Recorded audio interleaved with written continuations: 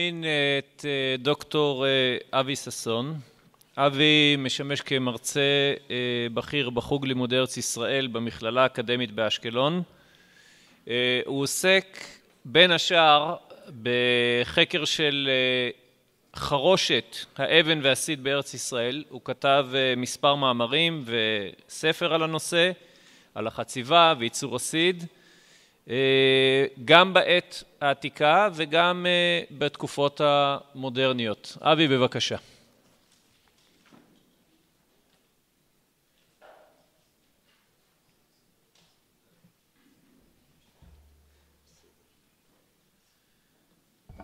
שלום. פה בכל שעות היממה אפשר להגיד ערב טוב. כבר בערך כשלושים שנה אני מוצא את עצמי מדבר אל הקירות ואל האבנים, וככל שהזמן עובר אני מוצא בזה עניין יותר ויותר. אין ויכוחים איתם, ההחלטה מתקבלת חד בפה אחד. ואני רוצה לשתף אתכם בחוויות שעברתי במערה עד שכן. אנחנו חייבים תודות לכמה חוקרים בהיסטוריה, גם בהקשר של שיטות החציבה, ואני חושב שהבולט בהם הוא צ'ארלס וורן שהשאיר לנו תוכניות נרחבות, מדויקות, מפורטות וחשובות מאוד, שמהן גם אפשר ללמוד על תולדות או שלבי החציבה במערה. ולפני שניכנס אל המערה עצמה, אני רוצה לתת איזשהו מבוא קצר לשיטות חציבה בארץ ישראל ובירושלים בעיקר, לאור המחקרים והחפירות האחרונות שנעשו באתרים שונים בעיר, ולהתחיל דווקא מהחתך הזה שצייר לנו בזמנו צ'ארלס וורן, שהוא כבר עמד על זה ולמעשה כולנו הולכים בעקבותיו, שפני הסלע בתקופות הקדומות היו, כמו שאתם רואים, פחות או יותר...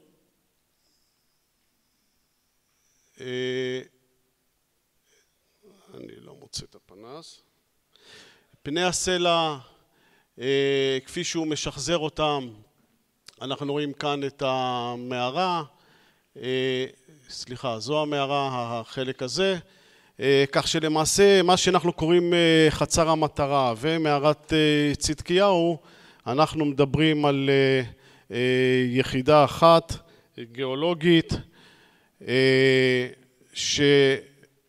שבאיזשהו שלב, אני לא יודע להגיד מתי, נפתח באמצע בתוואי של הרחוב פחות או יותר מכל מיני סיבות וגם לצורך החציבה. רוב המחצבות בארץ ובעולם הן מחצבות פתוחות, כמו שנראה עוד מעט, ומעט מאוד מחצבות נפתחו לתוך מערות, או במילים אחרות, מעט מאוד מערות משמשות לחציבה.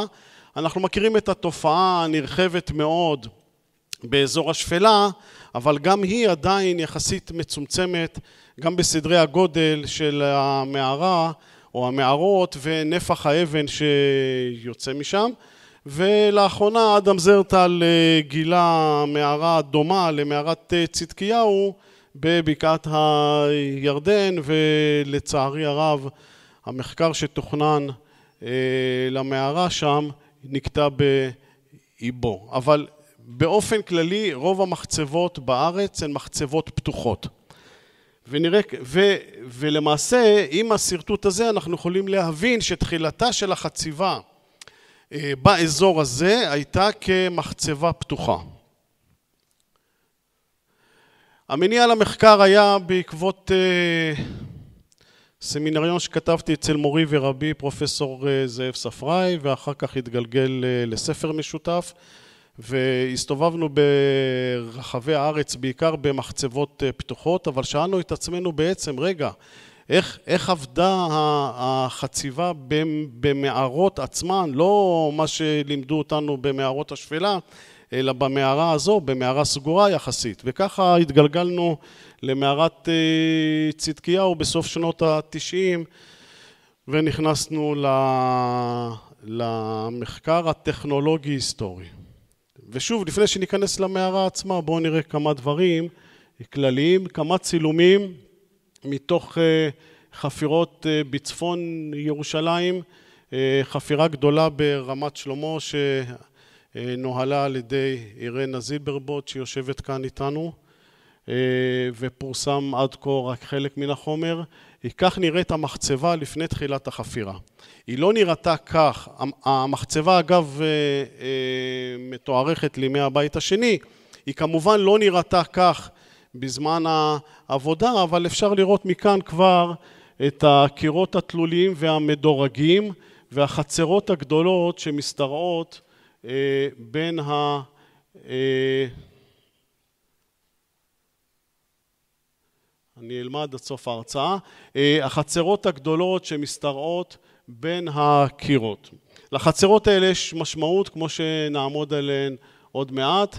הנה בצילום אווירי אתם יכולים לראות קטע מן המחצבה שראינו קודם במהלך או בעצם בסוף החפירה אתם יכולים לראות את הקירות התלולים ואת הנישות שנכנסות פנימה לתוך הסלע שאנחנו מכנים חצר, חצרות. העבודה במחצבה על מנת שאפשר יהיה להפיק את מירב התוצרת ושאפשר יהיה להעסיק כמה שיותר קבוצות עבודה העבודה הייתה נעשית בחצרות.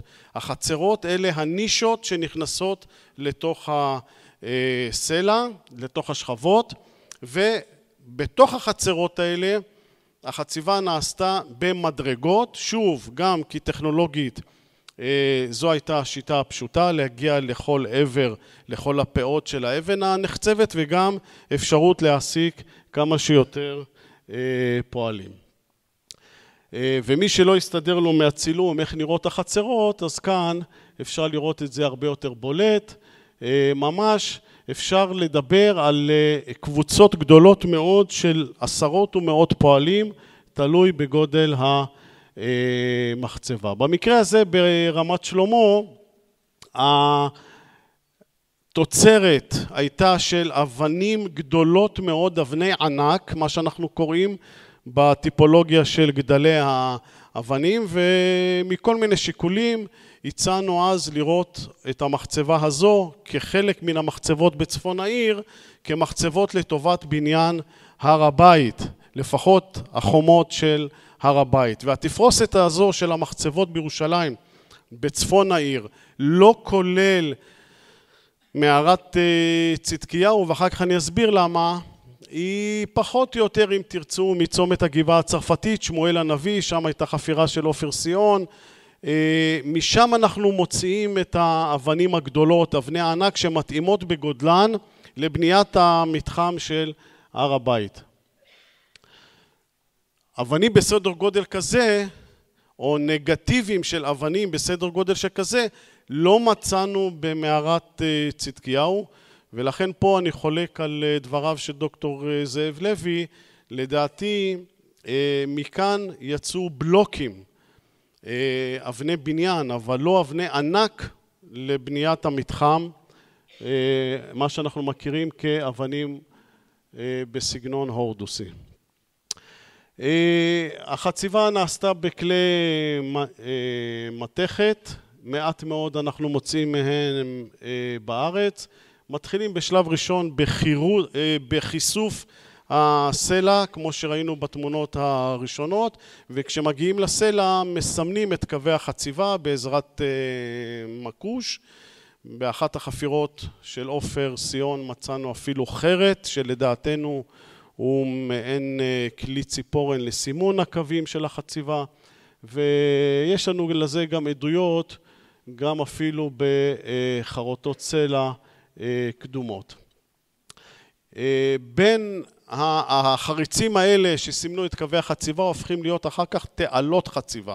בדרך כלל תעלת החציבה היא בין 8 ל-12 סנטימטר ומדדנו עשרות ומאות תעלות חציבה ברחבי הארץ, גם ממחצבות שמתוארכות לימי בית ראשון ועד למחצבות יותר מאוחרות, וההסבר הוא פשוט, יד אוחזת איזמל, שהפטיש צריך להכות, אז היה צריכה להיכנס לתוך התעלה.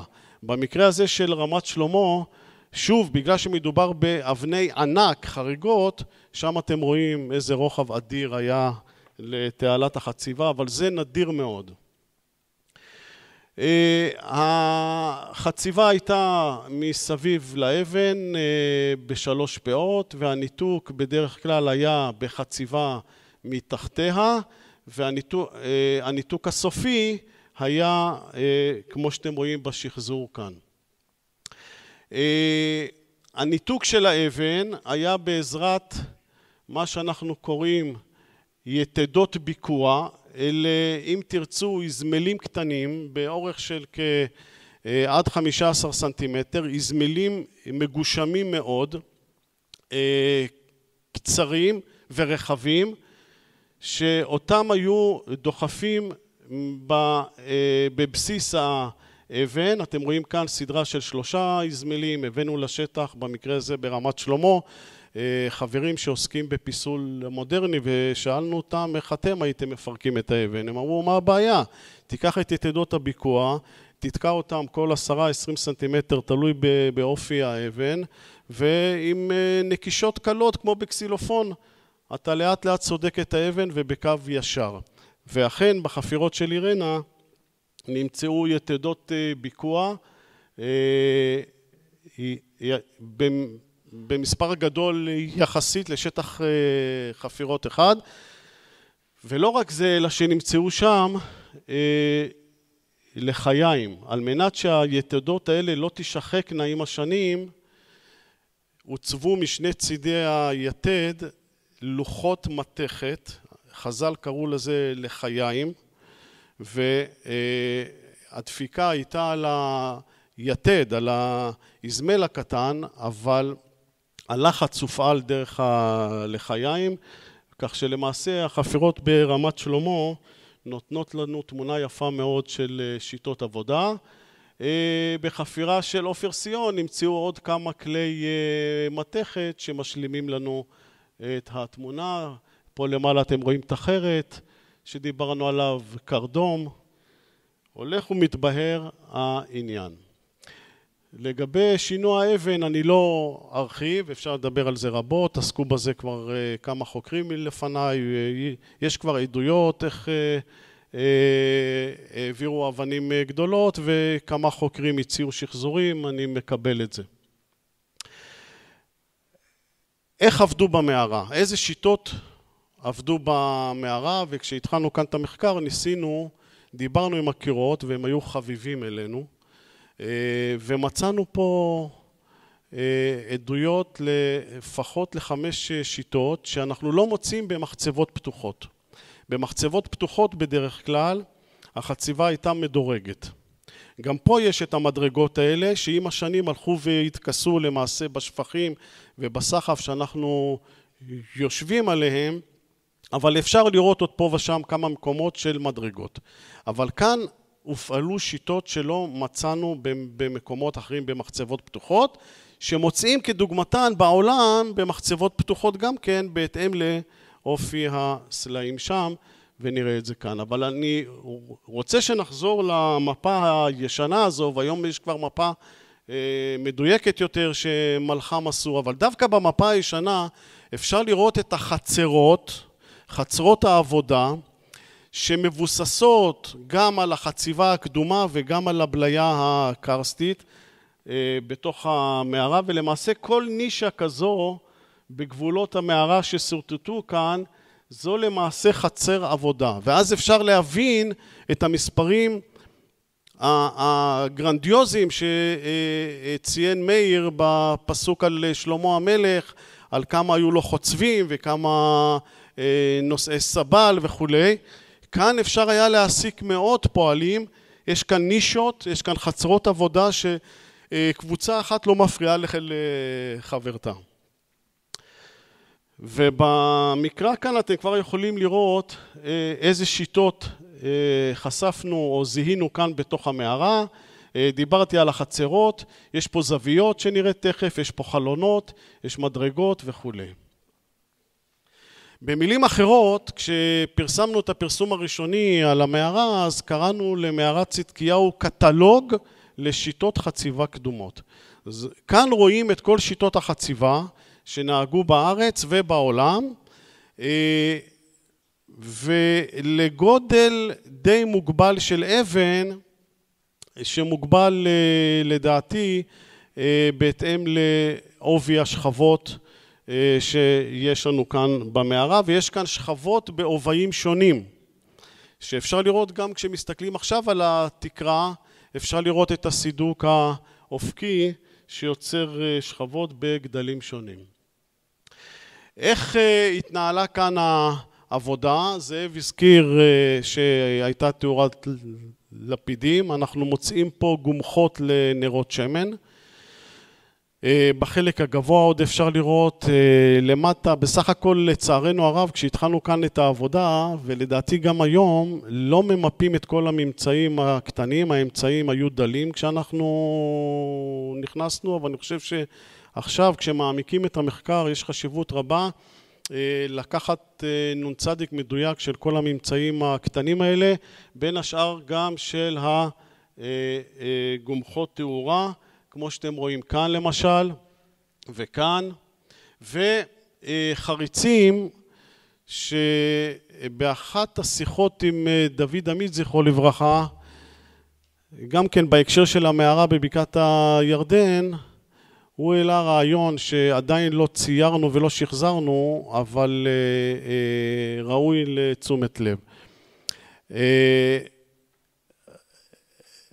חציבות אה, דקות כאלה בקירות של מערה מצא אה, דוד עמית גם במערה בהר הצופים והוא הציע שהחריץ הזה שימש כבסיס ללוח עץ קטן שמשמש כמדף שעליו הניחו נר חרס להאיר את החלק של, של העבודה. התאורה, אמר דוד, אה, של נר שיושב על מדף עץ מחוץ לקיר האבן היא גדולה יותר מאשר של נר שיושב בתוך הגומחה הקטנה. הנושא הזה ראוי לחשיבה חוזרת ולשחזור ויזואלי ואפילו לבדיקה בשטח באחת ההזדמנויות. אנחנו מדברים עם הקירות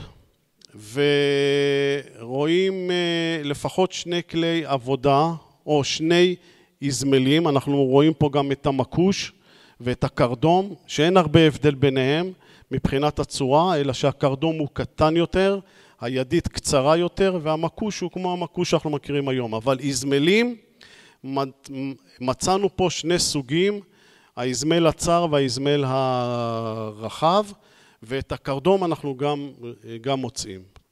את הקרדום בדרך כלל אנחנו רואים בתקרת המערה, דווקא בחלק הזה של האולם, פחות אה, ברור בגלל התחב והבעיות שזאב הזכיר, אבל בחללים אחרים אפשר אה, לראות את החריצים של, ה, של הקרדום, וגם לפעמים בדפנות. הזיהוי של הקרדום, בגלל צורת העבודה של היד, יוצר בדרך כלל חריצים מעוגלים. והאזמל שוב, בגלל צורת העבודה, חריצים ישרים. הלכנו אחרי החריצים האלה עם סרגל ומדדנו, ואלה התוצאות שקיבלנו, שני סוגים.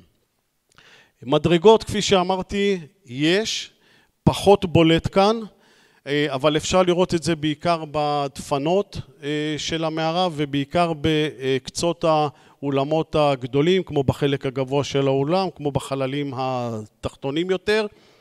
אה, לדעתי, ושוב, זה צריכה להיות אחת המטרות של החפירות הארכיאולוגיות, התנועה בתוך המערה הייתה קשה. בגלל הטופוגרפיה שזאב הזכיר, אה, אה, צריך היה לשנע את החומר מהחלק הנמוך לחלק הגבוה. צ'רלס וורן הציע בזמנו שצריך להיות איזשהו פתח לתוך העיר העתיקה. מה שאני יודע שחיפשו ואפשר, עדיין לא תם הסקר והמחקר לגבי גודלה של המערה. אבל אה, להערכתנו, שיטת המדרגות כאן בתוך המערה הייתה גם חלק מתשתית התעבורה של המערה, לפחות של, של המחצבה, לפחות של הולכי רגל. כי אה, לדלג, מי שמכיר בחפירות ארכיאולוגיות, מתא אחד, מתא שטח אחד לתא שטח אחר, במדרגות גבוהות זה בעייתי מאוד. ולכן אנחנו מוצאים את זה גם במחצבות אחרות. תמיד השאירו מדרגות קצרות, אה, נמוכות, שישמשו, אמנם שימשו להוצאת הבלוקים, אבל שישמשו גם לתנועה בתוך אה, המחצבה עצמה. מצאנו פה שיטה שמוכרת בעולם במקומות אחרים, אה, למשל מוכרת במחצבות בזלת במשושים, שכשרוצים להוריד את הלוחות הארוכים, אה, מצאנו אותה גם במקומות אחרים בעולם, כשתצורת הסלע היא אה, אה, מוערכת, שם עבדו בחציבה בזוויות אנכיות. אפשר למצוא כאן בתוך המערה בעיקר את, את השרידים של השיטה הזו, בעיקר מסביב לעמודים הגדולים שתומכים את התקרה של המערה, כמו למשל בקצה האולם הזה וגם בחלקים נמוכים יותר.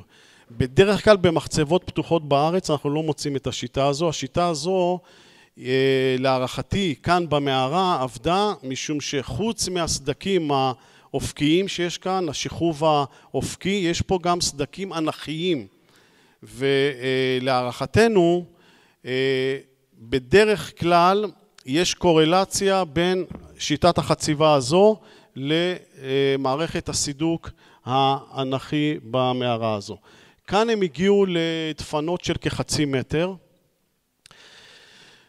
אה, מה היה גובה האבן שהם הוציאו אנחנו לא יודעים להגיד, אנחנו יכולים להעריך לפי שיטה שנראה עוד מעט, אה, אה, בדרך כלל זה עד בערך לשני מטר גובה, אבל זה לא האבן ששימשה לבנייה. במחקר שלנו הערכנו שהיה פחת של לפעמים עד 30 אחוז של האבן. זאת אומרת, אם הוצאתי אבן באורך של שני מטר, אז מה שנשאר לי, כמה זה פחות 30 אחוז? משהו כזה, אבל אני חושב שבמלקה, שוב בגלל התכונות החיוביות שלו, הפחת היה נמוך יותר. אז אה, אה, אפשר היה להגיד, לא, זאב, אתה עושה לי לא. היה פחת. טוב, אני אשאיר מקום לשאלות ולדו-שיח. אה, אני חושב שקצת הגזמנו בהערכה שלנו של ה-30 אחוז, כשאנחנו משווים את זה לחציבה הערבית, אבל אה, יש פחת. ואם אני לוקח את הנגטיב ומוריד לפחות עשרה סנטים מכל אה, צד, אז אני מקבל פחות או יותר את אורך האבן. לכן אני כבר רוצה לומר כאן, התוצר העיקרי שיצא ממערת צדקיהו זה בלוקים, ונראה תכף אה, דוגמאות. שיטת העמודים, אפשר אה, לראות אותה גם מאחורי המסך, זה שוב, זה חציבה בין שתי שכבות אופקיות, אבל כנראה על בסיס איזשהו סדק אנכי שכבר היה, שממנו אפשר היה להתחיל את הכניסה עם כלי המתכת. אה, לחשוף שלוש דפנות של אבן, וכמו שראינו קודם, אה, לנתק את האבן בשיטות אה, האחרות שציינו. אחד הדברים המיוחדים בשיטות החציבה במערת צדקיהו זה חציבה עילית. בדרך כלל אנחנו חוצבים מלמעלה למטה. בצדקיהו, כשמסתכלים על התקרה, אנחנו רואים הרבה אה, שרידים לכלי חציבה. וכשמסתכלים על האופי של השכוב במערה אנחנו מוצאים אה, משתנה ולהערכתנו בקטעים מסוימים במערה אפשר היה פשוט אה, לקלף את הגג או בעזרת לום או בדחיפות של מקוש גדול ואת החריצים האלה אתם יכולים לראות למעלה או במקרה של התמונה התחתונה כאן אתם יכולים לראות אה, את התפר בין השכבה הטבעית לאבן שנותקה מהתקרה. עד עכשיו לא שמנו לב לשיטה כזו במערות ויכול להיות שמפה גם צריך לצאת למערות אחרות באזורים אחרים בארץ ולבחון את העניין הזה. יש פה עוד משהו שאנחנו לא לגמרי מבינים אותו, אה, אפשר לראות אותו אה, יותר למעלה, וגם כאן בצד שמאל אפשר לראות שיטת חציבה שקראנו לה חלון. מה הביא את החוצבים, או את החצבים, כמו שחז"ל אה, קראו להם, מה הביא את החצבים הנה לחצוב לכאורה בדרך לא נוחה, לא ברור לנו, אבל יכול להיות שגם זה היה במטרה לנצל אה, שטחים אה, מתים במרכאות בקירות ולקחת כל אבן אפשרית, גם אם מסביבה היה סידוק שלא אפשר להוציא לוחות אבן אה, גדולים יותר.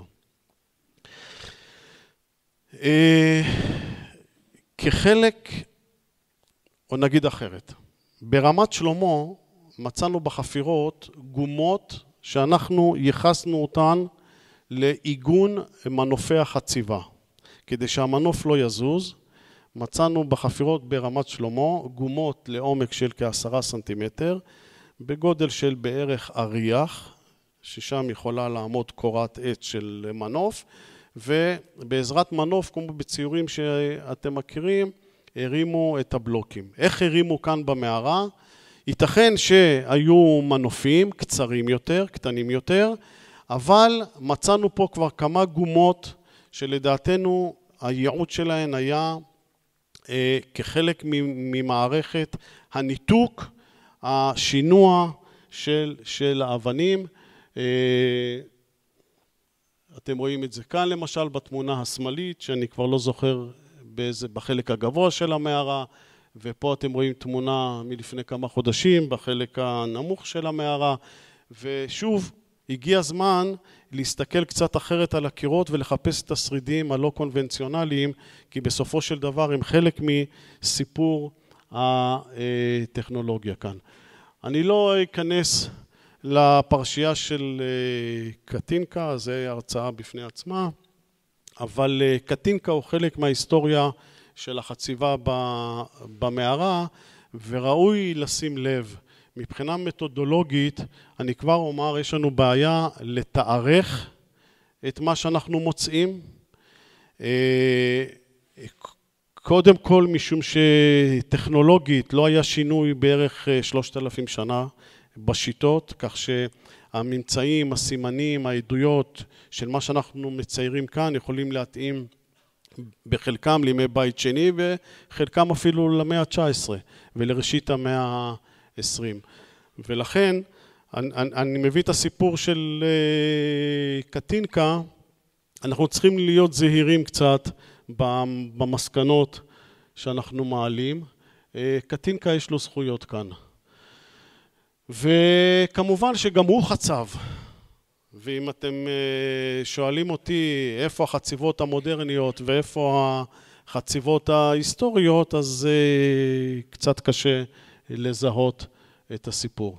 צילום שבאדיבותם של אה, רחלי ואמיר שיושבים כאן איתנו, שמעון תגיד אם אתה מצליח לתארך את התמונה הזו, תחילת המאה העשרים, מתאים לי עם הסיפור של קטינקה מצד אחד, שהוא מיוחס לפני מלחמת העולם הראשונה, ואימקה, תחילת המנדט הבריטי שנות ה-20, ומצד שני, ותראו שיש כאן פעילות של המשך חציבה והוצאת אבן. מצד שני, תראו את גודל האבנים. זה מה שאנחנו קוראים בלוקים. נכון, זה אולי מה שהם היו צריכים, ואולי יחלוק עליי מי שיחלוק ויגיד שבתקופות הקדומות הוציאו מכאן אבנים גדולות יותר. אבל אני חושב שהתמונה הזו יכולה ללמד אותנו גם ביחס למה שקרה בתקופות הקדומות. אופי הסלע, השחרוב, הסידוק במערה יותר מתאים להוצאת בלוקים ובלוקים לצורכי בנייה. גם בנייה ממלכתית אבל אני מסופק עם לבניית בית המקדש. לאן הגעתי?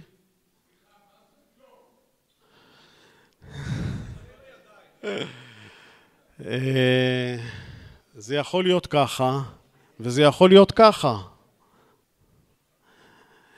היום בלוק יש לו מידות, 40 על 20, משהו כזה, קצת יותר גדול, קצת יותר קטן, אבל גם לבלוקים הגדולים אפשר לקרוא בלוק, אבל זה לא אבני הורדוס של הר הבית. זה... עוד פרשייה של אה, ניצול המערה, ואני מביא אותה פה גם כדי להעלות אה, שאלה בפני הציבור. תמונות ששלח לי איתן איילון מהאוסף שלו ושל שרה לאורן. יש עדויות על כך שדלמן אה, בתחילת המאה העשרים, בין שאר השיגעונות והזכויות שיש לו, מבקש שיעשו לו שחזור של כלי עבודה היסטוריים מאבן מלקה במערת צדקיהו. לא מצאתי לזה עדיין סימוכין. אה, לפני תחילת הכנס אה, היה בחור שסיפר על מזכרת של, אה, שיצאה מתוך המערה. זאת אומרת, המערה שימשה עדיין בתקופת המנדט להפקת אבן, אבל בקנה מידה קטן יותר, בהקשר הזה של מזכורות ומזכרות ודגמים, ומי שימצא לזה סימוכין, אנחנו נשמח לשמוע. מה טוב ומה לא טוב בעבודה במערה. אז כמו שזאב אמר, הסטרטיגרפיה של המערה ולדעתי גם הסדקים הם מקילים על החוצבים. החציבה בתוך מערה לא פותחת פצע גדול בנוף ולדעתי לא סתם המחצבות הגדולות של ירושלים ימי בית שני הם באזור המרוחק מן העיר. זה גם עניין אסתטי, אקולוגי, גם עניין תעבורתי, טכנולוגי. ואני אומר את זה כאן, במחקרים שעשינו, בסקרים שעשינו במחצבות היסטוריות, מצאנו שהמחצבה הייתה בדרך כלל במקום גבוה מעל אתר הבנייה. ואנחנו יודעים לומר את זה מאוד יפה. אנחנו יודעים להגיד איזה אתר בנייה קדום ואיפה המחצבה שלו. המחצבה בדרך כלל היא במקום גבוה יותר. איך הם העבירו את האבן זה כבר שאלה אחרת. אם בגלגול, בדחיפה, בעגלה, לא משנה. אה, בדרך כלל. ו... ולכן לדעתי מבחינה זו עוד סיבה למה מערת צדקיהו לא מתאימה לבית המקדש. אה, ומה שחשוב כאן, אפשר לעבוד כאן כל השנה. מה שאפשר גם בחוץ, אבל בתנאים הרבה יותר קשים ותפוקה נמוכה יחסית, כאן אפשר לעבוד כל השנה בלי, אה, בלי בעיה. ועדיין קרבה לאתרי הבנייה, אבל קרבה לאתרי בנייה שהיו צריכים אבנים קטנות. כאן לתוך המערה אפשר היה להכניס על גבי כבש ושביל מסודר עגלת אבנים ולשנע את האבן החוצה. החסרונות, אה, יש כאן במערה להערכתי הרבה פחת בגלל התצורות המקומיות שיש כאן ואתם לבד יכולים לראות את זה מהדפנות והתקרה. עדיין פחות נוח לשנע את האבן לתוך העיר עתיקה, אה, גודל, כמו שאמרתי, וצריך כאן הרבה אמצעי תאורה. אני לא נכנס לתיארוך, אני לא יודע להגיד ממתי, הנטייה היא כמובן בית שני, לא אכפת לי שזה גם יהיה בית ראשון, זה בהחלט אה, יכול להיות. אה, אבל שוב, כמו שאמרתי, המתודולוגיה של החציבה לא מאפשרת לנו לתארך בצורה מסודרת. אני מקווה שחיליק יוכל להרחיב על העניין הזה מבחינה ארכיאולוגית. תודה רבה.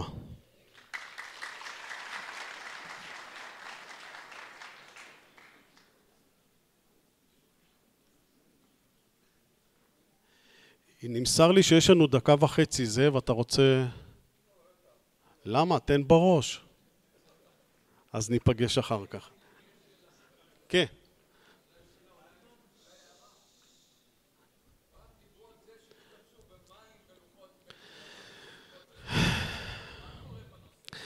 בכוונה לא הכנסתי את השקף היפה של לין ריטמאייר, ששחזר את אה, שיטת הניתוק.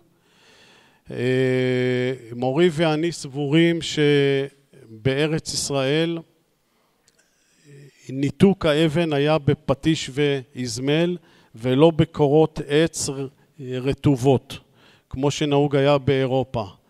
בארץ ישראל אין מים להרטיב קורות, קורות העץ הלכו לשימושים אחרים